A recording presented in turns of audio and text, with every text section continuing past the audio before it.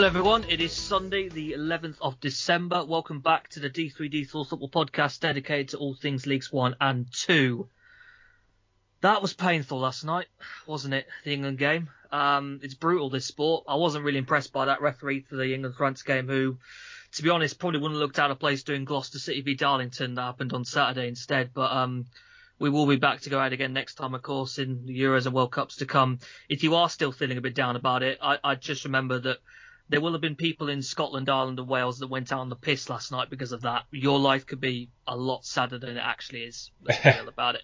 Whilst the World Cup quarterfinals have been in action, though, the EFL continues to chug along, albeit this weekend the freezing cold weather has left us with a reduced slate across the Friday and the Saturday. We've had a total of nine games in League One, six in League Two. Fewer games to focus on, but I'm not changing with my ways.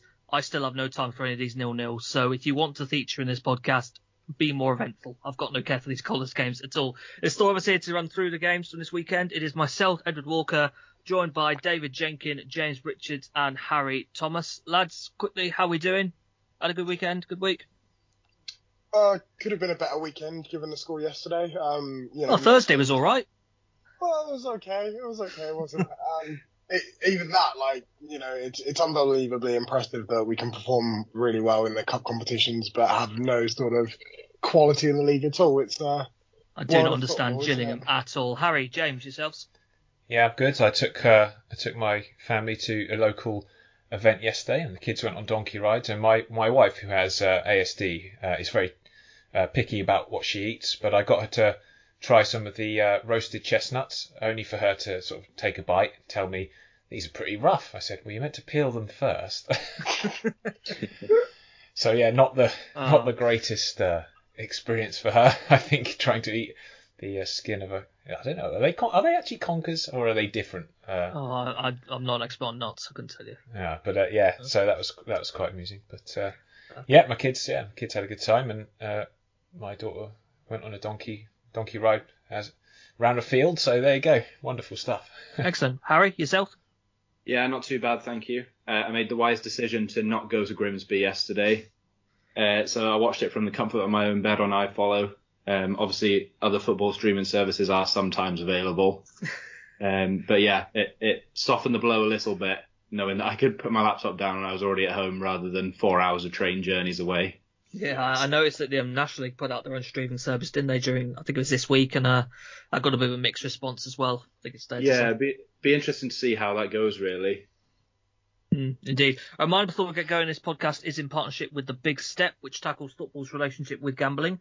There is an excessive presence of gambling adverts within football, and The Big Step continues to do great work to raise awareness about the dangers of gambling and the impact it can have on so many people's lives. Just on that, Ed, uh, just very quickly, if there is anyone out there suffering from gambling addiction and are just afraid to reach out or uh, don't you know don't don't feel isolated do do give us um, get out there and contact someone you can follow the the big step uh, at the underscore big step on Twitter. They have been through what you're going through. They'll be able to help you. So do not suffer in silence. Absolutely. A big thank you as well to all our Patreon members. Those who sign up for as little as just £1 per month can get access to additional D3D4 daily podcast episodes throughout the week. They are produced by James Richards and they focus in depth on individual clubs and provide previews to some of the most eye-catching fixtures in League One, and League Two each weekend. Did you really have eye-catching fixtures? Because there was basically only a handful taking place this week. Well, I, I, cursed them all. I actually recorded it before they'd all been called off, and oh. basically all the ones I, I previewed were called off. I, I, can assure people as well, it's not a it's not a podcast about Oxford United every every day, which uh, it's every other day. It's every day. Every, yeah, it's just every other day. Yeah, that's right. Yeah. you can sign up to that now at patreon.com slash D3D4 football. Let's get going and we will begin as always with the world's best third tier. League One. Straight into League One. Um, only a handful of games to go through, as I said. The weather really hit some of the pitches, certainly in this league. We lost some on Friday. We lost some on the day of the game as well. It's always quite frustrating, but it, it's this time of year. It does happen. But James, we're going to start with what was maybe the most eventful game of the day. Shrewsbury Town 3, Bolton Wanderers 2. Yeah, great result for, for Shrewsbury Town. And uh, Steve Cotterill absolutely delighted post-match with his players. Uh, said he had a sneaky feeling that Rob Street and uh, Christian Saydee would score. They both did. And um, a really good performance. I mean, they, you know, they left it late they they Boltoned Bolton essentially. Um, you know, Chey Dunkley with the winner in the 92nd minute, and uh, it was yeah, it was a really really solid performance from Salop, who are starting to, you know, despite having injury problems and a very small squad, they did invest in good players who are versatile, and I think um, this is why they've done that. Steve Cotterill's obviously got Jordan Shipley playing that left wing back role. He set up the early goal for Rob Street to score his first for the club, and he's been, you know, he's been struggling. I think he's needed this goal and to score within two minutes, not the ideal start for Bolton.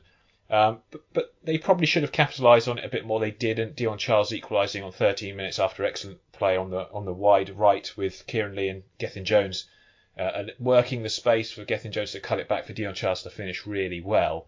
And then, you know, second half they, they go and score um, again. Dion Charles a breakaway. Chey Dunkley fouling his man and, and Dion Charles stepping up to thump the penalty basically through Marko Marosi. It literally, yeah. I don't know how he didn't quite stop it. I think the power behind it. This is why I say always hit penalties with power because even if uh, you know it does go towards where the keeper is, it's got more chance of going in than these. We've seen some dreadful penalties in the World Cup, like Japan. Oh, it's it's the run ups. Oh. I just can't stand the run ups. It's just so. I love Shearer's penalties. Ridiculous. If you remember them, just he just yeah. whacked it, just smacked it in, and you know, no one, no one will score them all, as we saw with Harry Kane sadly yesterday. But you know, he just got to hit it, and and and Dion Charles did exactly that. Went straight through Marko Marosi to give them the lead, um, and then a very frustrated Ian Evatt, you know, saying that there's no way we should have lost this game we were the better team for 74, 75 minutes, and uh, then we just stopped doing what we were doing well and uh, let Shrewsbury get you know their their the ball into the players that they, they were looking to, like Christian Saydee, who had a great game. I mean, you know, if you watch the first goal, actually, the way he held it up in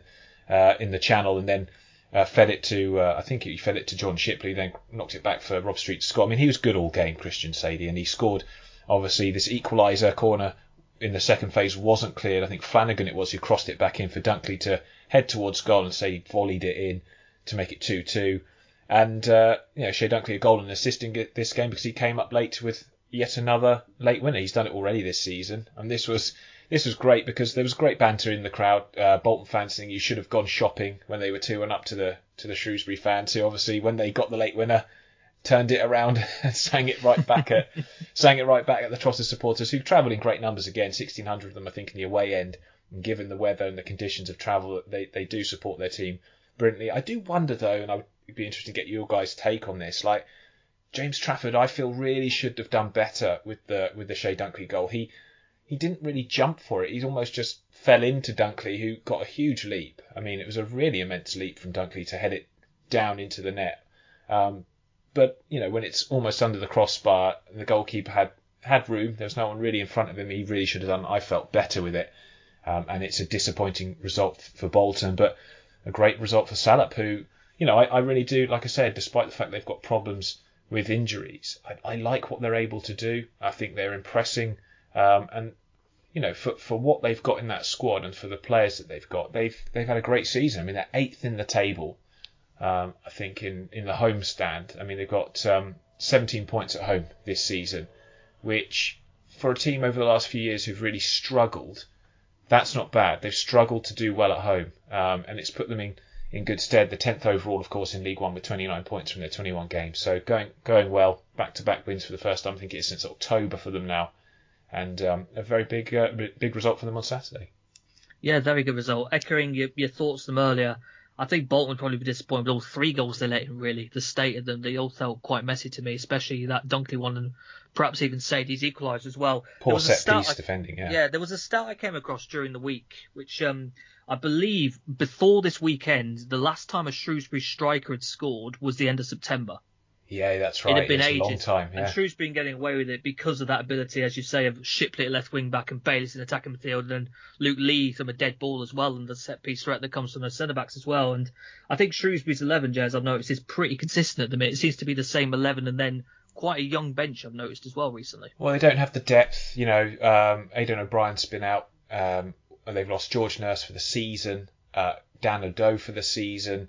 Uh, Carl Winchester was playing but struggling to breathe for for much of the game yesterday properly because he was suffering from some sort of virus, so he had to come off. Uh, they've had, uh, I think, is it Taylor Moore moving around in several mm-hmm. positions, and I think he he filled right wing back yesterday, wasn't he? Yeah, and then I think he went central, and, and Rekeil Pyke came into the, the right wing back position when uh, when Winchester went off. So they've got versatile players, and that's really helped them because if they didn't have that, you know, I don't know what they'd be able to do. I think the strongest thing about Shrewsbury is their consistent back three. That's been and Yep. the goalkeeper. They, they've been very solid in that in that respect, and you can see why uh, they're in the top half of the table, not not doing too badly at all.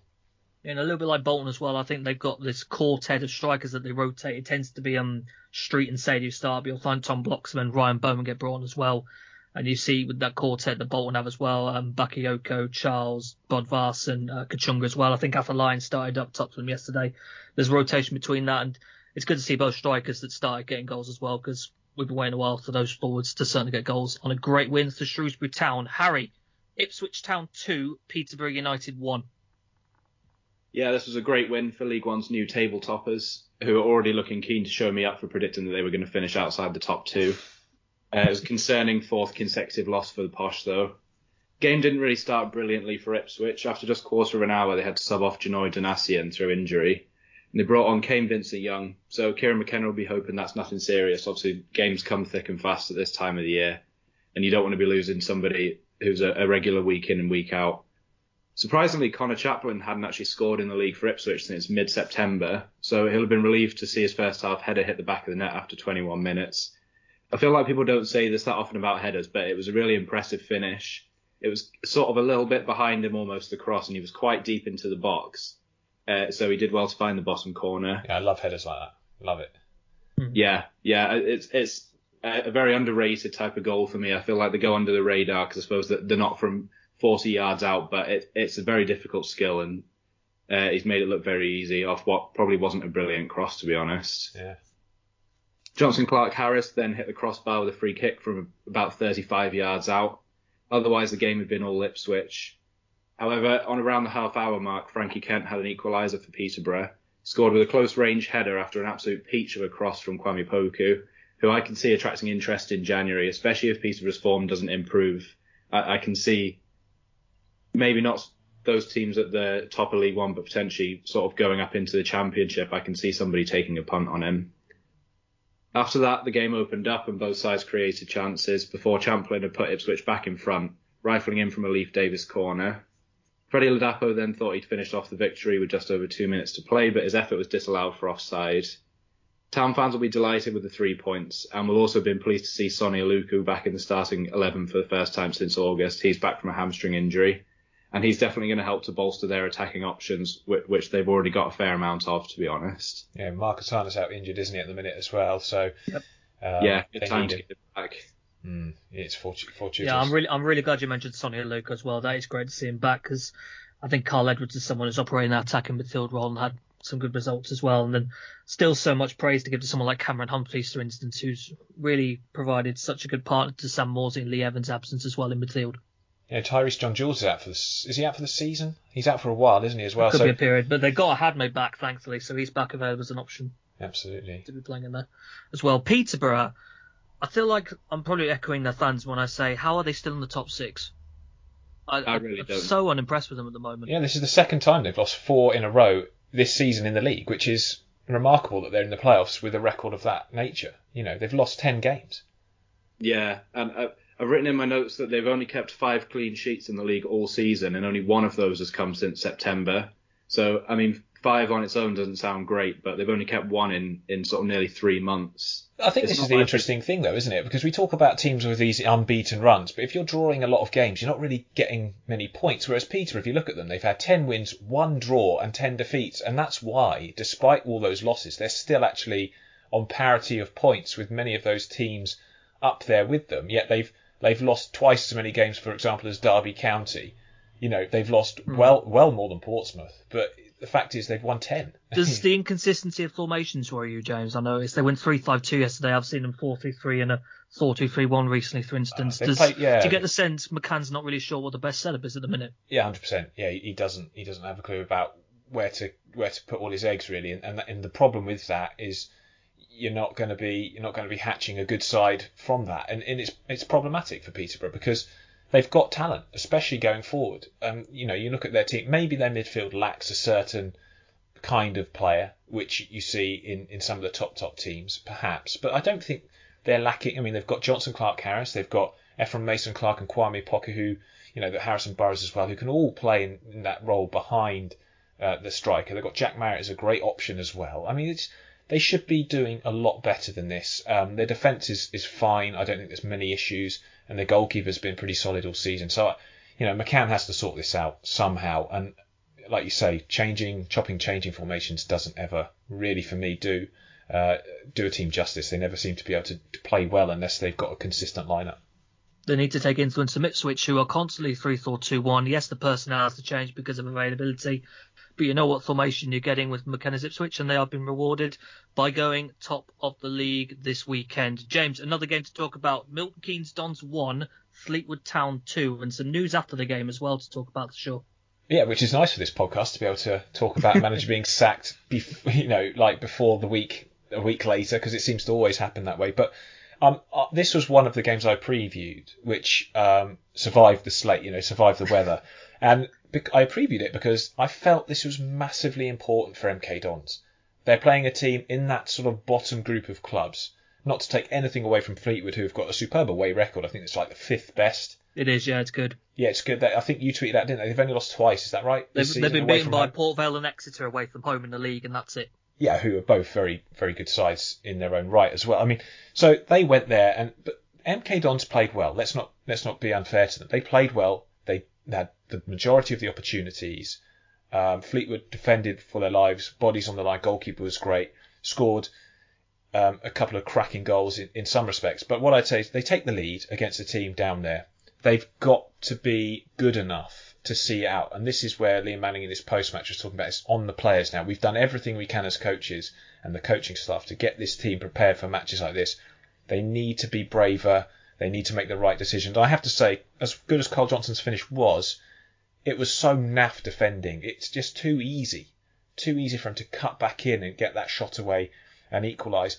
Dan Batty, you can't do much about that. You might say they should have done better with the first ball and stuff like that. But Dan Batty's finish, he's a player I really admire, and he smashed it in just to rub salt in the wound and take a bit of a smash and grab, which is perfect for, for what Fleetwood did. But then, no surprises to me that after this game, they this the, the board had had enough. They've sacked Liam Manning.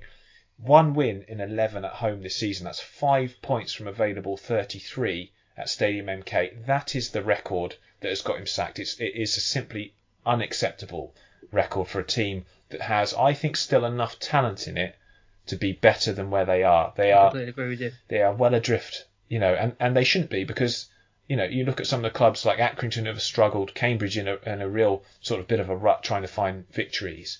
They should be closing that gap. You know, Forest Green are, are doing what they're not, and uh, MK Dons.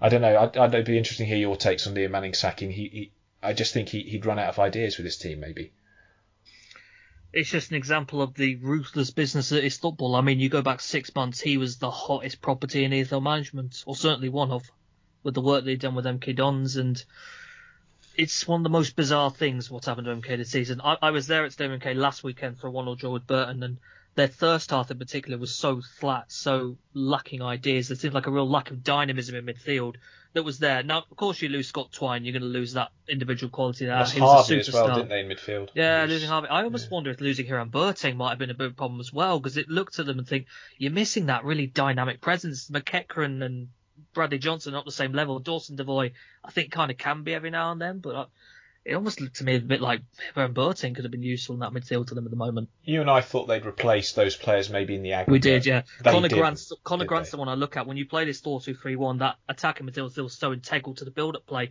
And he's a good guy, Conor Grant. I liked him at Rochdale, but it's quite a jump up to come from League Two to League One, really. And it, he doesn't really seem to be having the effect I want him to in that position. I just think that, uh, like you said, we, we, we were hoping their recruitment was better than it, it perhaps looked, and it's turned out to be pretty poor and left them, you know, very, very short in, especially with the style they want to play. And I think we talked about this in earlier pods. You know, when you're not able to play due to personnel the style that you've you've pinned yourself on, but you don't, you haven't recruited for maybe a second, a, plan B, like a, going a bit long if you need to. You're left with a, a lack of identity, and, and yeah, it's it's left them really struggling. But one win at home all season, terrible. It's the worst home record in the entire division. I, mm. I hope the return of Moisa, what we've had in the last month or so, was going to change things for them, and it, it's not. They're, they're a complete shadow of the team we thought they were going to be this season, and uh, I don't know what comes next. I, I, don't know what names are going to be in the mix for this. I'm, I'm fascinated by it. It's going to be an interesting period looking ahead for MK Dons to keep an eye on. David, a local clash in Gloucestershire. Forest Green Rovers 1, Cheltenham Town nil. Yeah, the inaugural uh, League One El Clasico, as you. Uh, no, sorry, sorry, sorry. I can't. I, I got told off for doing that. You, you got told off? I got told off. Cheltenham fans oh. do not approve of it, so uh, don't Terrible. spare yourself the blushes. I got well, told let's, off. Let's just go with the inaugural League One uh, derby between these two sides then. Yeah. Um, yeah, I mean, for this one, it seemed mostly like one-way traffic, to be honest. Uh, maybe that's why the Cheltenham fans weren't too happy, because uh, Forest Green seemed like they were pretty, uh, pretty in control of this whole game. Um, the only goal of the game coming from Brentford Loney, Harry Boy's uh, free kick, which was headed in by Myles Peart-Harris for his third of the season. Um, yeah, Forest Green just seeming in general the better team throughout the game. Um, Cheltenham getting a couple of chances, but nothing particularly noteworthy here. Um, definitely an, a much needed win for Forest Green. Um, puts them one point behind Cambridge, who I will say that I'm I'm considerably worried about. Mm-hmm. Um, and I think you know that's that's a win that they definitely needed and probably deserve on the balance of this fixture. Yeah, um, Forest Green, the the player I want to notice onto them, they've had a really good positive couple of results recently. A win over Cambridge last week and this win over Cheltenham as well. I feel like Dylan McGeouch played a big part of this. He was a free agent signing. I formerly remember being at Sunderland as well, and he's come into that midfield. And it does seem, James, to have clicked something in them. They do seem to be a better side with him in there. Absolutely, I wasn't sure at all what to expect from him, um, but he has just that bit more grit and experience. I mean, Hmm. they've got David Davis, haven't they, who they signed from Shrewsbury, but he's been out injured for uh what seems like ages, and he, you know, he he's an he's a decent player at this level for sure. But this guy's come in, and I think he's he's been really really good for them um, because they have got some good young players, Boyce, McAllister, Peart-Harris in there. Uh, I think March is, is has been pretty important. Remember, they've got no Matty Stevens for, for most of the. I do think Connor Wickham's making up to what Matty Stevens' absence is, though. Well, I think he's been an excellent signing with. you Yeah, know, yes, I agree. with with what he brings to the table. And um, I, I mean, for me, when I previewed this game, I mean, this one did survive as well. And I felt that Cheltenham had to go there. And although it's a it's a derby, just don't lose it and keep that nice gap between themselves and, and Forest Green. Don't give your rivals an opportunity to close that gap a bit. They weren't able to do that. I thought it was a bit of a flat performance from uh, from Cheltenham, to be honest. But yeah, I think Forest Green now they've got a few players coming back from injury. You can see them starting to find a little bit more uh, confidence and, and starting to get a few more results. Yeah, and they had to put Carl McAllister at right wing back yesterday. Corey O'Keeffe got um, two yellow cards against Cambridge, so he's suspended for this one.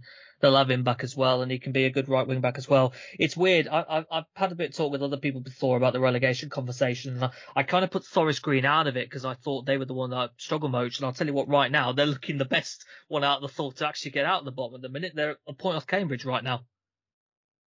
I was going to say, if anyone else you expect to fall into that kind of region at the moment, given current form, it probably would be Cambridge, wouldn't it? I mean, out of those teams, they, they for me, are certainly the ones that I worry the most about. Yeah, absolutely did. agree with that. Cambridge, I mean, Cambridge. The problem with them is they've they've got injuries to like Liam O'Neill, who I think giving him another contract now seems pretty regretful. They've got Adam May, who drives the play quite well, out injured, and Dimitar Mitov unavailable as well. Yes, and the problem is goal. they don't have. They've got two youngsters in Worman and Simper who are playing alongside Digby, but neither of them are. You know, it's a very big task for young players like that to come in in a team that doesn't have many other options. They look really short of players and actually quite short of confidence. Cambridge as they've dropped down uh, down, down the table. I think it's one win in ten or something, or one win in eleven for them now, which is no good.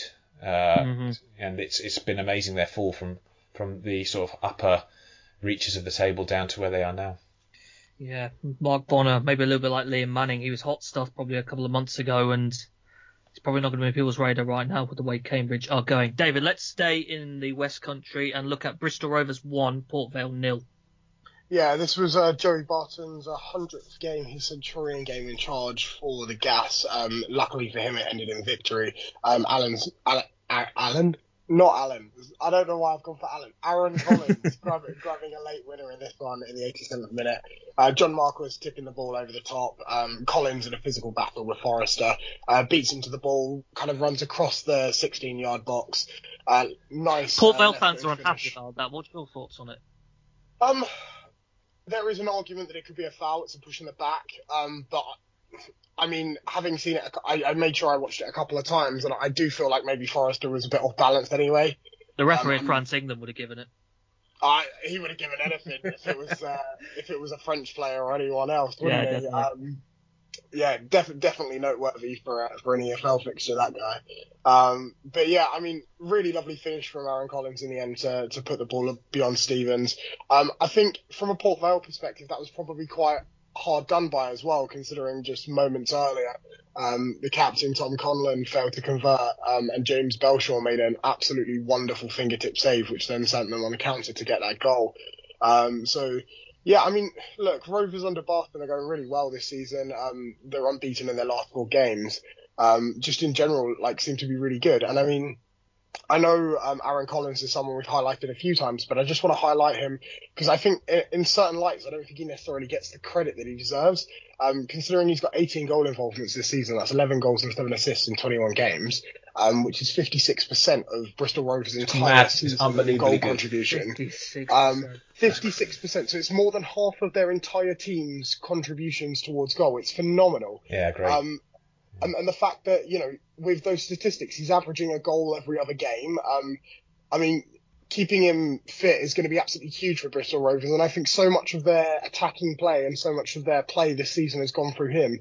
I mean, he's, he's such a consistent member of that side as well, having been involved in 98% of Rovers accumulated minutes across the entire season in the league at least.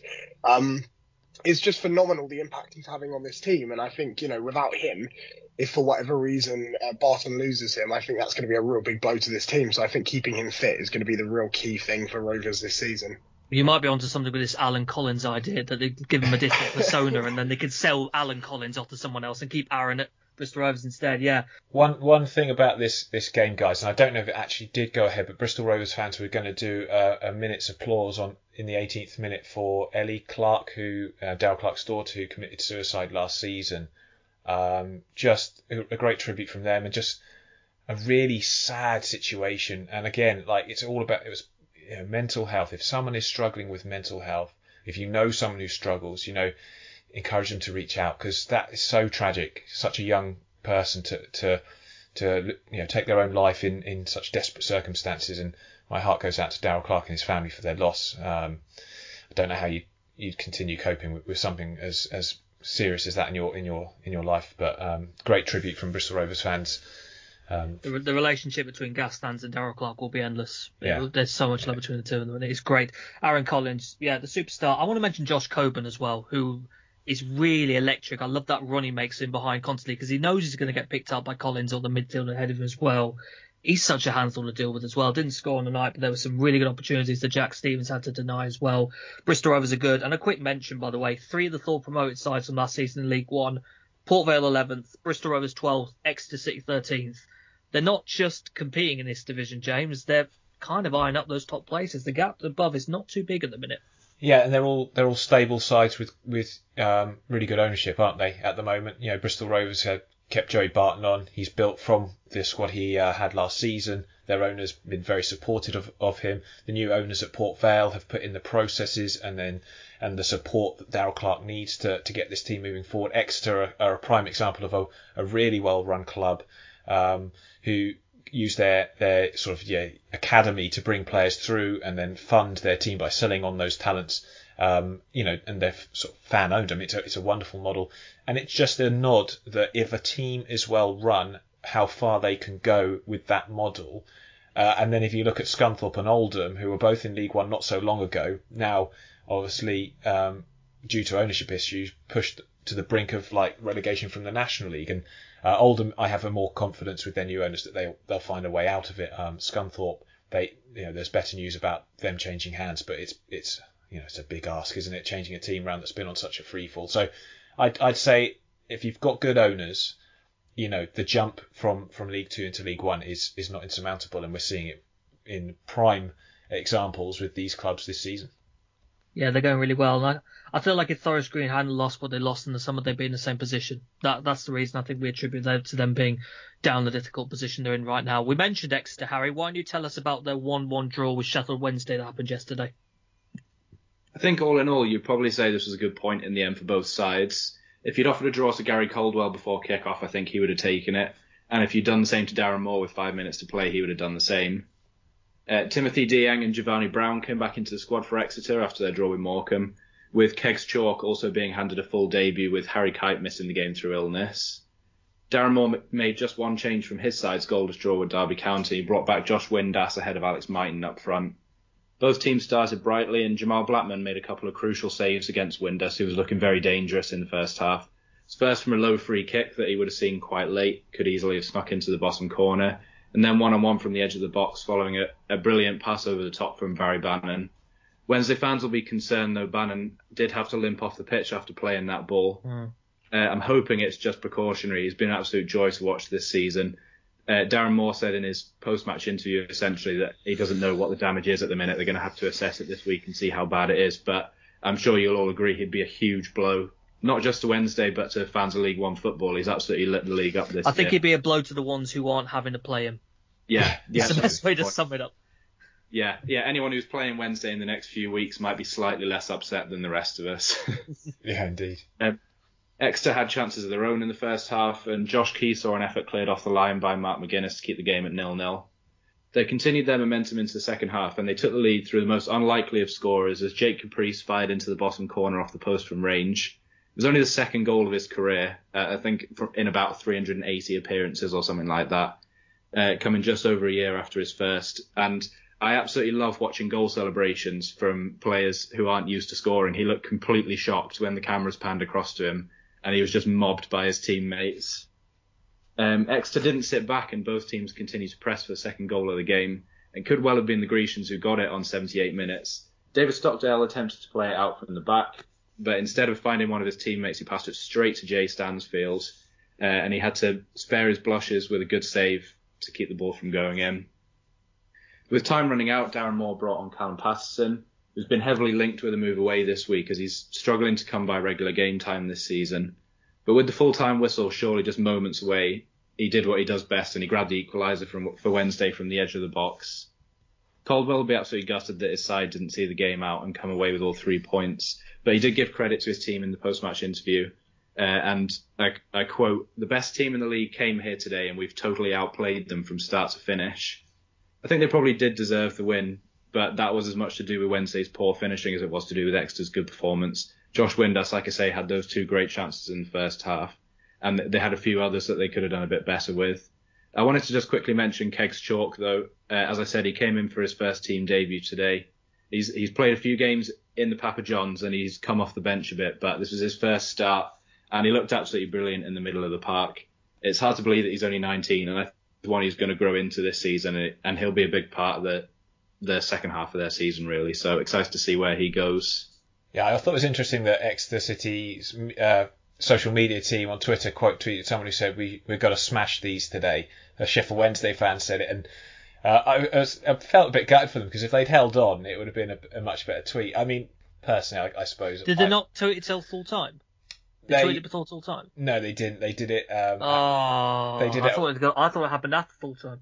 They did it. Yeah, after full time, it was it was it was one one, which is you know it doesn't have quite the impact. But I mean, to be honest, I think there's so many fans of these clubs who don't really understand how good some of the cl- sides in League One, like Exeter, are. That there's always going to be comments like this, and I probably wouldn't have dignified that with a response from from the official club Twitter account personally. I just think there's, there's a few morons out there who think that just because they're from a big club, they'll they'll smash everyone. And I I think the vast majority of Sheffield Wednesday fans are far more aware of, uh, like Sunderland fans were, I think, how how difficult it is in this division to to get the results you need to get promoted. It, it's it's not easy. You you really do need to be at your best every game. And Sheffield Wednesday proved again. You know they come away with a with an what could be a very important point, despite not playing particularly well. So.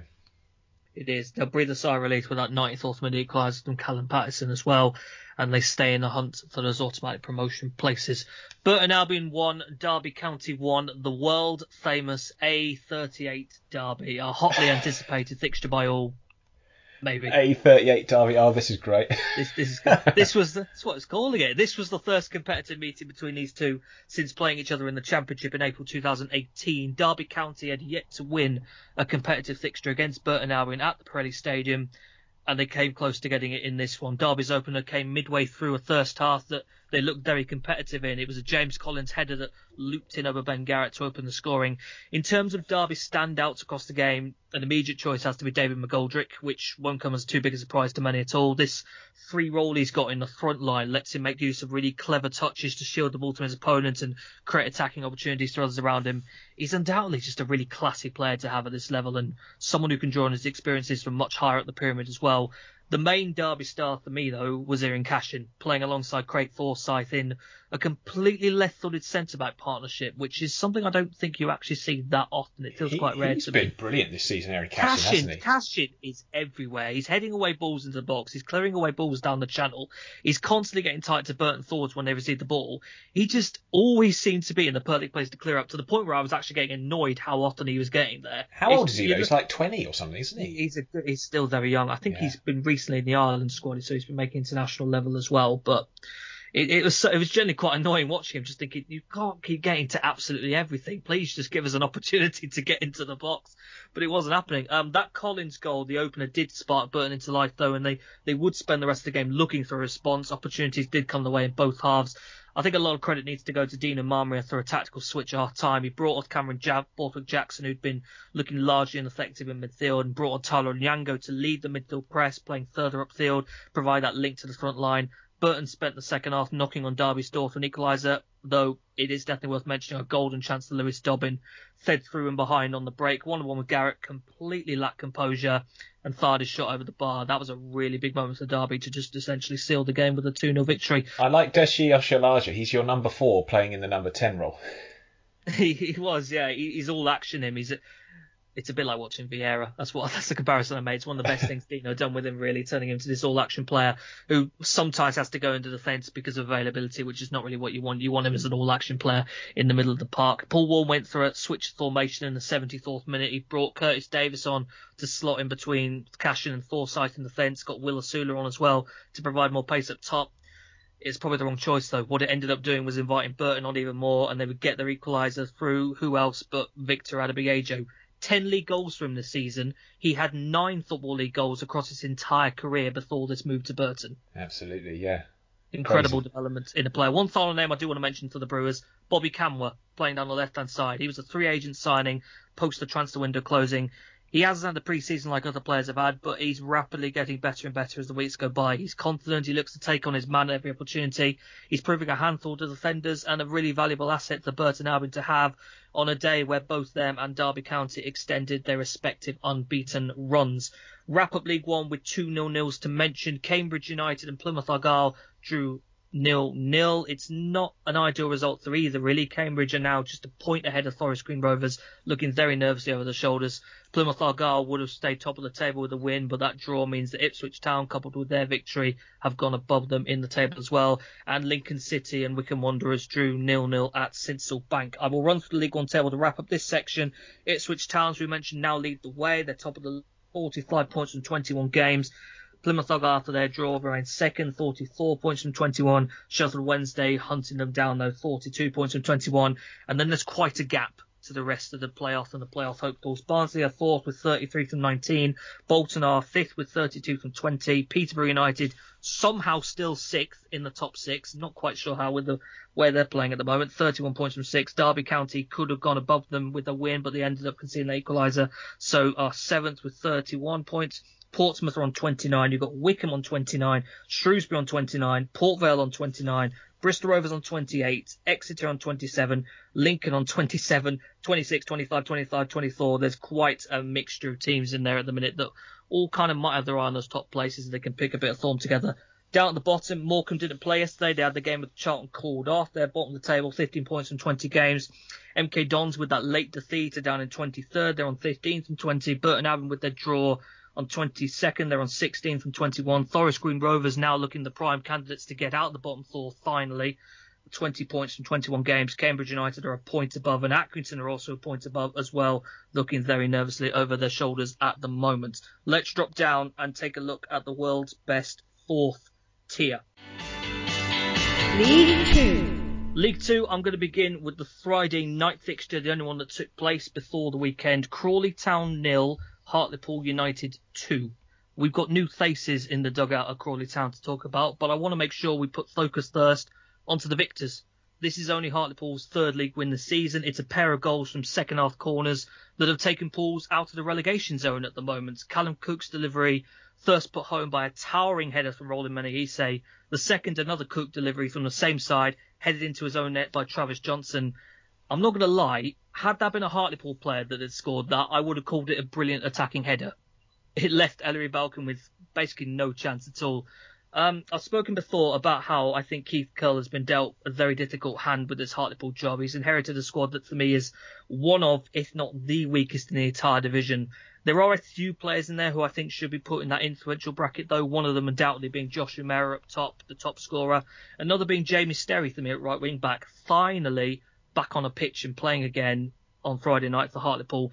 It's only the second full 90 he's had since the start of the season. There's been so many fitness problems to him across this campaign, and it's a big drop for me when you put someone like Reghan Tumilty in that position instead of him. So I really hope we get to see a string of him now because it could be really important for them if we do. Hartlepool really do need to add some quality when the January window starts, especially with some new forwards as well who can just be as convincing as Umerah's looked so far. This is a good win for them, but you're still left to feel a bit discouraged by them. There was a really heavy defeat, for instance, to Stockport County last week, and an example of the difficult season that they are having. I wonder if Keith Curle can go and use his contacts to get Harry Smith to come and play and give them that option up front because you know I don't that, think he'd be a decent fit for them. He would. Be. He would. I don't think that'll happen, but I mean, I just think you know Keith Curle will have a player well, in mind. aren't using him at the minute, are they? So no, exactly. They don't need him. So he and he's uh, he's available. So you know that would be ideal. Mm. And Keith Curle's obviously I think managed him at Northampton. Probably comes comes. Yes, he will. Have, yes, he will have. So yeah, I just think that would be a good signing.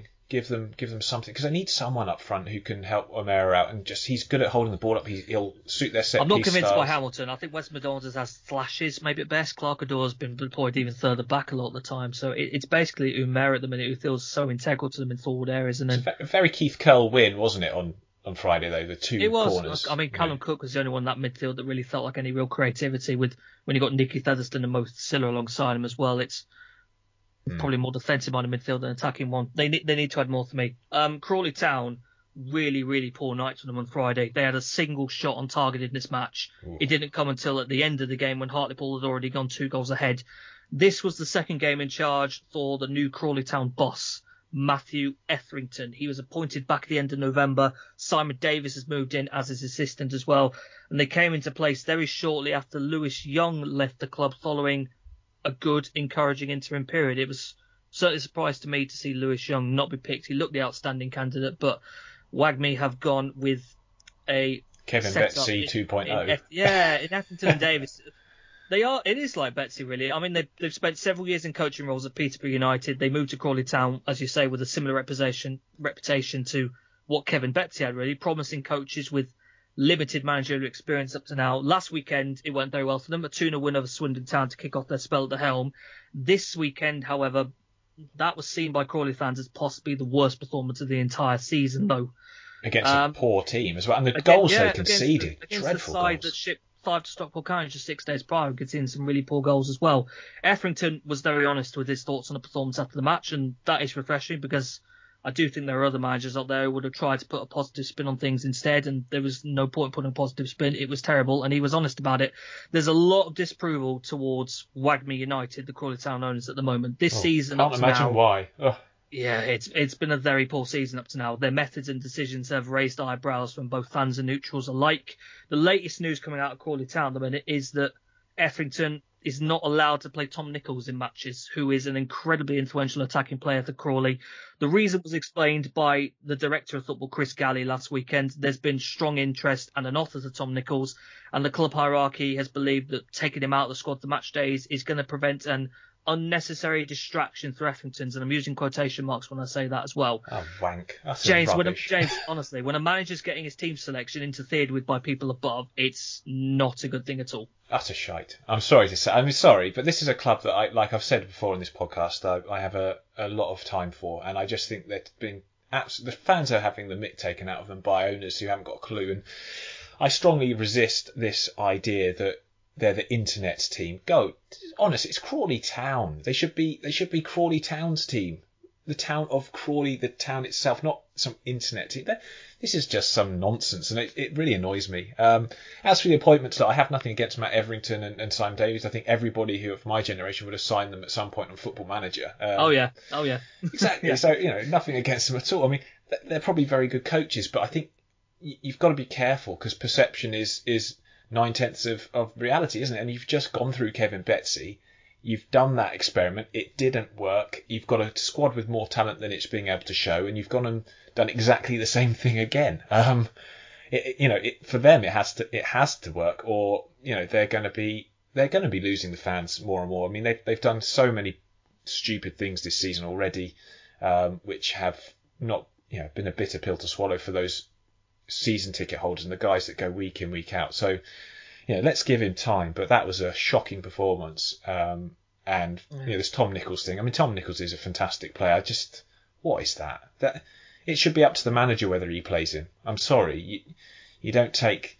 You don't. We we often see it where a player, if he plays one more game, it triggers an extension to his contract. Oxford had that with Lee Bradbury. It's happened with other players at other teams, and, and the chairman says, "Don't play him because I'm not I'm not willing to extend his contract on his current wages." And the manager's hands are tied in that respect. Um, but this, hmm, I just. I remember Etherington saying it last week when everyone was surprised to see Nichols out, and he said in the post-match interview, "It's completely out of my control. Mm. It's not good. Things were going really fine under Lewis Young, and uh, the concerns at Crawley Town are back again." After an awful Friday night down at Broadfield well, Stadium. Well, that's worth mentioning in itself, isn't it? That they dismissed him out of hand when he's been such a loyal servant to the club and someone the fans really loved, and he kind of brought everything together again after a difficult spell in the Betsy. It was another eyebrow raiser. It's not the first one they've done this season. Yeah. Not mm. great for Crawley right now. Harry, talk to me about Grimsby Town 2, Tranmere Rovers 1. Yeah, a game between two of the most out of form teams in the Football League. Grimsby had no wins in the league in six, Tranmere no wins in eight. So I think most neutrals probably would have had this nailed on to finish as a I'll draw. just say this has nothing to do at all with you joining this podcast. I mean, the jury's still out on that one. All I'll say to anyone who's been paying attention is my first appearance on this podcast, we were just coming off the back of five wins in a row. Tranmere haven't won a game in any competition since. Coincidence. So, uh, Coincidence. James, do you want me to edit that out? Yeah, yeah, just delete that. yeah. Like as if our dark horses cause teams to fall away as well. That's just, you know, it's just oh, rubbish. yeah, I'm sure it's nothing to do with us, but I, I was listening with dread there as you talked about the problems at Crawley because they're coming to Prenton Park next week. Uh, and anybody who follows Tranmere knows that we have a horrible habit of gifting wins to teams that need them. And I think this game against Grimsby this weekend is perfect proof of that. Uh, Grimsby came into the game making just one change to the starting 11. Danny Amos returned from injury. It was an unchanged uh, starting side for Tranmere from the goalless draw at Sixfields last weekend. Grimsby immediately started the game on the front foot and they were ahead after just seven minutes. John McAtee was given far too much space on the left wing and Brendan Kiernan was found in even more space in the box to nod it in past Ross Doohan, who was left rooted to the spot. It was, it was an absolute comedy of errors watching it back. I just can't believe how sparsely filled our penalty box was, and th- there was so much space for Kiernan there. Grimsby then thought they'd made it 2 0 with an almost identical goal. Cross from the left again landed at the feet of former Tranmere player Otis Khan in the six yard box, but he was flagged offside. Tranmere attempts to carve out chances as the half drew on, and I think our attacking performance of the last few months was perfectly summed up by a two on one that ended with Josh Hawkes playing a ball through to Hemmings that was far too easy for Harry Clifton to cut out. Both sides created half chances as the game went on, but it felt like if anyone was going to score, it was going to be Grimsby, and that was the case pretty much on the hour. Otis Khan put a free kick into the six yard box. Again, our defenders were nowhere to be found, and Niall Maher was there to head it into the back of the net.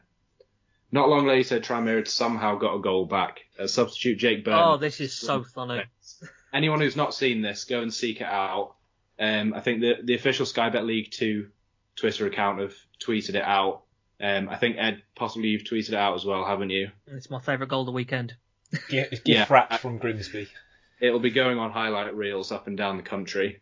Um, Jake Burton had had just come on as a substitute up front, and he was pressing the Grimsby defence and a clearance from goalkeeper Max Crocombe just bounced off the back of his legs and straight into the back of the net. Uh, I think at the minute it seems like the only way we're going to be capable of scoring a goal, but it was at least refreshing to see uh, somebody playing up front rather than having a midfielder playing in it in a attacking two. Uh, Matt, Micky Mellon then took off midfielder Lee O'Connor and threw striker Joel Mumbongo into the mix for his debut with just under 15 minutes to go. And he had the best chance of an equaliser as his header from close range went agonisingly wide. Grimsby's winless run has ended, and that's seen them leapfrog Tranmere in the table. And I completely agree with Paul Hurst's assessment that it was comfortable for his side, who never looked like they had to get out of second gear particularly. They were also unlucky not to win a penalty late on, with a push on Danilo Orsi deemed to be not a foul by the referee. I think it probably should have been a penalty, so they were unlucky not to get that one. Coming up the way that they did last season, I think that mid-table consolidation is probably a decent aim for the season for this Grimsby side, and they'll hope to build confidence off the back of this result and just sort of keep themselves treading above water away from that relegation zone really, and, and then you can build next summer and and have a look at maybe trying to work your way up from there. As for Tranmere, I'm very concerned about where we go from here. I bet you can't wait till your centre backs come back. Yeah, uh, preferably put one of them up front as well, to be honest. Um, I mean, Micky Mellon was asked post match if Mumbongo's cameo meant that he's approaching match fitness. He's he got injured in pre-season. He's not been fit at any point since the league started at the end of July. And so he was asked, does this mean that Mumbongo's nearly fit? And Mickey said, no, he's not even close. And I'm just glad that he came off the pitch not injured. Uh, so uh, uh, that strikes of a, a man who's run out of ideas, really. And we did end the match with three strikers on the pitch, but you've also got two creative midfielders in Rhys Hughes and Reece McAlear, who are sitting on the bench week in, week out, and are either not coming on or they're getting five minute cameos at the end of the game. And our strikers haven't been p- performing particularly well, but if all the pressure is on the strikers, then you're going to have games where you don't score goals. And I think the thing that's frustrating our fans is that there are creative options on the bench and there are options to mix up the formation, mix up the style of play, and, and he doesn't seem keen on doing it at all. So, yeah, uh, congratulations to Crawley Town on the three points next weekend. Oh, don't be like that. Don't be like that. Tranmere's wait for a win goes on. I mean, on another story, they should have beaten Burton Albion in the EFL Trophy, but that's a different story. We'll, gl- we'll gloss over and move on. David, Newport County nil, Doncaster Rovers one. Yeah, strange one for me. This um, seemed like a game of two teams that were trying not to lose rather than either one uh, actively trying to win. Um, Doncaster probably coming out looking the, the better of the two sides throughout the game. However, they, they completely failed to be clinical at all. Um, it seemed like the majority of their shots, out of their 15 shots in this one, uh, were all kind of coming from outside the box. They weren't really getting anywhere near. And um, to be honest, I don't think really anything was troubling Joe Day. Uh, that was until Kyle, Kyle Knoyle um, scored the only goal of the game. A little pass back into him, um, and I'm sure uh, Joe Day is going to be quite disappointed by this one, considering that it's uh, been blasted into his near post. Um, not not much room there, and I'm not sure how Kyle how loyal of all people has, uh, has put this in. Um, but I think it sort of sums up Newport's performance here, uh, given uh, Graham Coughlan's uh, thoughts after the game. Um, some very interesting words. Um, he was quoted saying that he thought we were terrible. We were all uh, we're all angry. That performance is not like us. It's not what we've been serving up the last six or seven weeks. So we need to go away, analyze it, and see why we had so many players not at the races today. It's obviously disappointing, not just for me, but for the fans as well. They've had an off day. To a certain degree, I agree with what he said, but to be fair, I, I, don't think either one of these teams were, were really at it. I think Doncaster have been fortunate to get something from this game. Um, and I, I, to be honest, I think it would have been a fairer result for a nil-nil draw. But um, you know, Doncaster are certainly not going to complain about the three points. Um, and I don't think Newport have been playing particularly well over the last few weeks anyway. So I'm not sure those comments are. I'm completely in agreement with either. Yeah, Carl Carl Norwin. My my main observation for this is um similar to last week. He's he's got Tommy Rowe playing less centre back at the minute in a three four three because he's got Tommy Rowe back there. I mean, um, I mean Rowe's a versatile player, but get him further forwards to me, Schofield. I, I the, the idea of playing a centre back to me hurts my head. I, I don't know what to think, and this feels like a, a pretty uneventful game. So uh, well done for getting something from that, David. And yeah, disappointment to Newport pleasing to Doncaster to get the victory, I suppose, in the end. James, we'll move on. Sutton United 1, Colchester United nil. Yeah, speaking of uneventful games, um, it wasn't much. You know, when you're when when the winning manager says this one won't live long in the memory is the opening statement of his post-match. It's one of those days.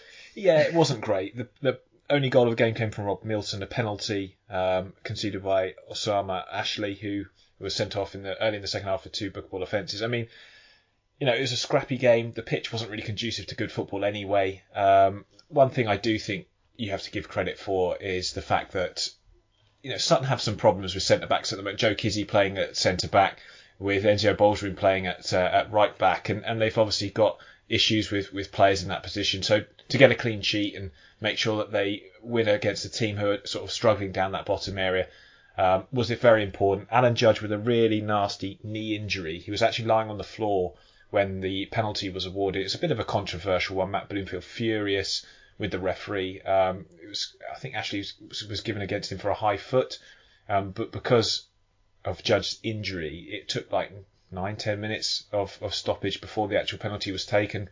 Rob Milsom, I mean, if you want someone to take penalties for England, that was mm. absolutely belted into the top corner. Goalkeeper had no chance. But I think for Alan Judge, that might be his career, to be honest. He's um, struggled for form since joining Colchester, and if it's as serious as it looked, it's a long road back for a player of his age. And yeah, we'll see what happens. But yeah, it wasn't wasn't a great performance. Um, I think Matt Bloomfield blaming the result on the referee is a bit un. It's, it's, I've got to say, I haven't got any confidence in Bloomfield. I, No. I don't know what's Colchester at the minute really disappointed me. They're, they're down to the bottom of the table now, following Hartlepool's winning their defeat. Oh, they're 23rd, sorry, at the moment, joint joint bottom of the table at the moment, following that defeat and Hartlepool's win. Um, the, the lineup confuses me with Colchester constantly. I, Yeah. I don't understand where he chooses the players. I don't know why Sears doesn't teach him more. I don't understand why Chilvers doesn't teach him more. It's really confusing to me with Colchester in a minute. yeah, they're where they belong, basically, right at the bottom. They're a terrible team. Um, I don't have faith in the manager. I, I gave him the benefit of doubt. Actually, I did. A, I've done a couple of sort of mini podcasts about Colchester. I just don't understand this team. Um, they're not well built. They're not well put together. They've got clearly some real bad issues, and, and they're the most naturally talented players, like you say, not playing. Do me a favour, you know, if you're if you if you're where you are, you've got no no Chilvers has to start. I know he's been out of form this season, but he is such a good player, um, and he offers something completely different to the options that they play on that pitch. And the fact he's playing Alan Judge ahead of him, um, mm, I don't know. Yeah, not good. Quick mention to Sutton, though, as you say, starting to come on the mend. They got Alistair Smith back into midfield as well, so it's been a long spell with Adam Lovett, and there has been a lot more inexperience, but good to have Ali Smith back as well. And Harry, hopefully Harry Beautyman can be on the mend soon as well, and they can start looking a bit healthier in midfield and long term in defence as well. And, and a nice win for them there on a day where I think they were rather comfortable, I'd say, Gander Green Lane against Colchester United. Two more nil nils to run through to wrap up this episode. Stevenage nil, Mansfield Town nil. Stevenage is still doing just fine. Really, some opportunities to both sides here. At, at this point, I'd probably say to both sides, really. Stevenage staying up in the top places at the moment in their pursuit of promotion this season. And Swindon Town nil, AFC Wimbledon nil. Draw that extends Wimbledon's nice little unbeaten run under Johnny Jackson and a run of clean sheets as well. They picked up a bit recently. Hopefully, we'll get a chance to talk about more in the coming weeks as well. I'll run through the League Two table to finish. Not everyone played yesterday. We only had about half the league in action. So Leyton Orient are still where they were, 48 points from 20 games. Europe to 44 points from 21. Northampton didn't play yesterday. They're on 39 from 20. You've got Barrow who were going to play Carlisle yesterday in a Cumbria derby, and I'm a bit disappointed that didn't happen because Yeah, that would have been quite something should have, but we'll see that another time. They're on 34 from 20. Mansfield after their draw up to fifth, they're on 34 from 21. Carlisle at sixth, 33 from 20. Bradford were going to play Gillingham today, David. I bet you're glad that didn't happen. They've got 33 points from 20 games. They're inside the playoffs as well. Swindon just outside with 32. Salt on 31. Doncaster on 31. Walsall on 30 and AFC Wimbledon on 30 complete the top half. Gillingham down to the bottom of the table, 14 points from 20 games, still six goals scored. We, we, we talked about that enough. We don't need to go any more on that really. Colchester United in 23rd place, 14 points from 21 games. Hartlepool after their big important win at Crawley Town up to 15 points from 21. They're in 22nd. Rochdale just above, same points. We played 20 games. Then there's a little bit of a gap to Harrogate Town who have 19 points from 20 and have improved a little bit recently as well. And then Crawley Town, the concerns are back for them. 21 points from 21 games. They're looking back over the shoulder again, and I hope Etherington can get things turned around because a bit worried about Crawley Town at the moment. So that is going to wrap up this episode. David, Harry, James, thank you very much for your contributions today. You're welcome. Cheers, pal. Thank you. Brilliant. Join us again next week for more from the world's best third and fourth tiers. We'll see you then. Goodbye.